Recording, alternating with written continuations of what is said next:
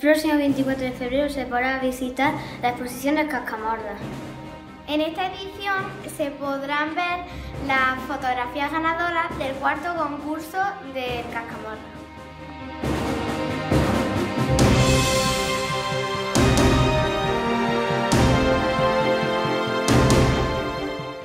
La carrera del cascamorra, el baile rifa y el cascamorra infantil pueden ser una de las imágenes que podemos disfrutar en la oficina de turismo.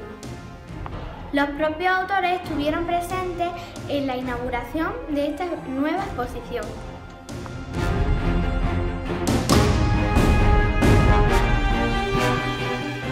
Y no olvidéis recordar que hasta este 24 de febrero podréis disfrutarlo en la oficina de turismo.